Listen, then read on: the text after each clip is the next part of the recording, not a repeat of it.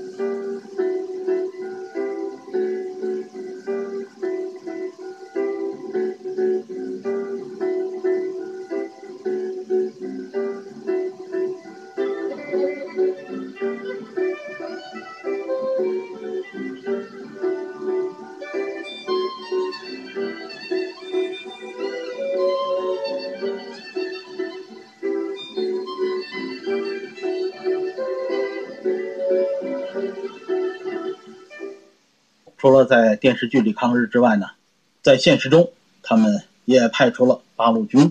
今天有人穿着八路军军装进店训斥。一点一点一点骨气没有吗？他们再好也不能用，有点骨气，是中国人的骨气。给你整个是贱肉。这组照片介绍的呢，是一条日本的风情街。它位于辽宁的大连，据说这条风情街已经被关闭了。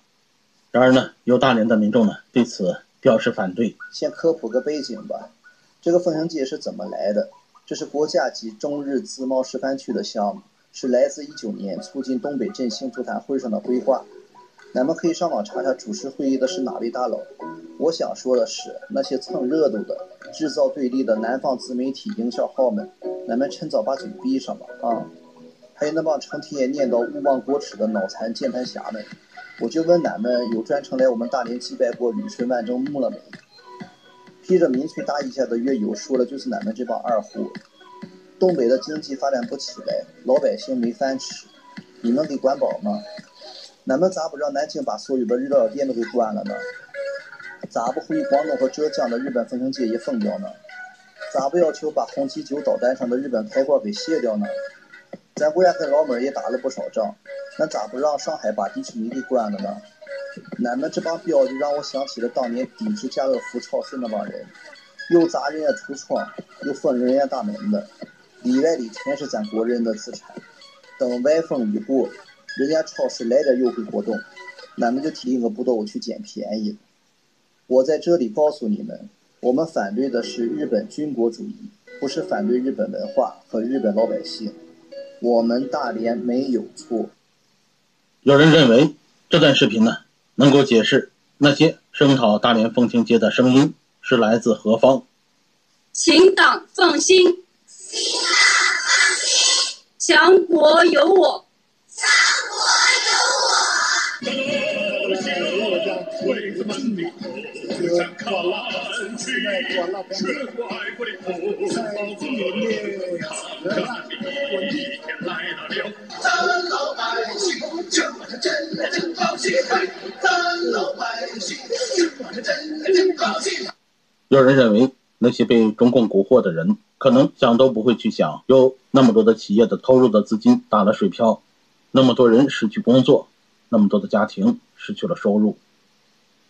有人更悲观的认为呢，以后呢，中共国的社会呢，多数都是这种人了，因为那些持不同意见的呢，不是被中共消灭了，就是不得不被迫沉默着。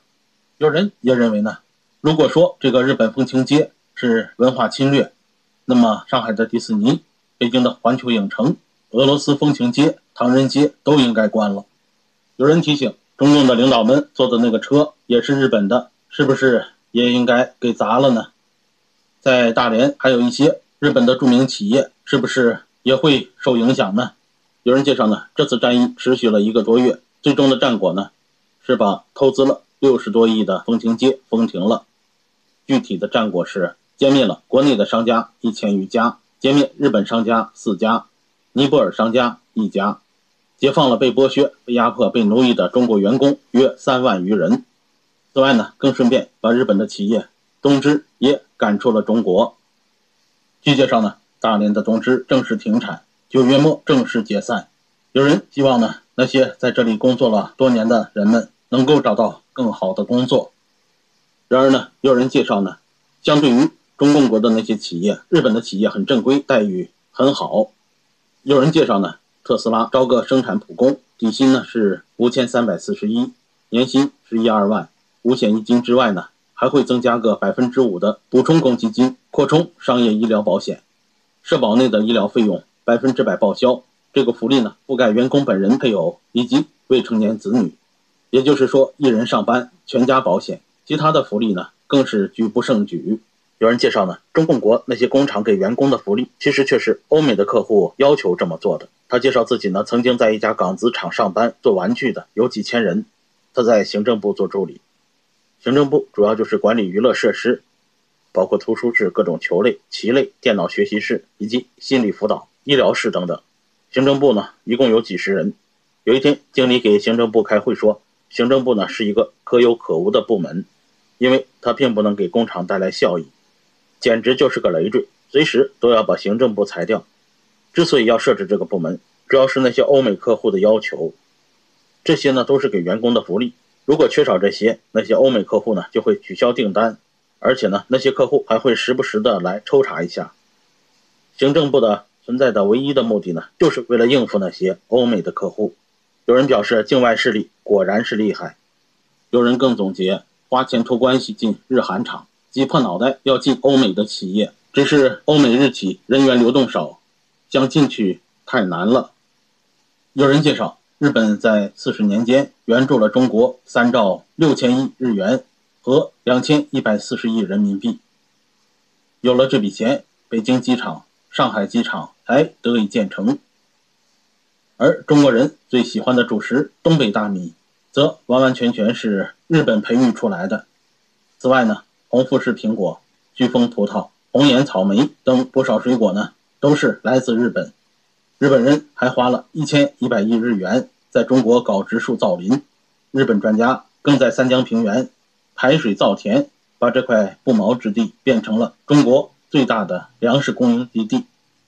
有人介绍，这个池塘在日本被称作莫奈池塘。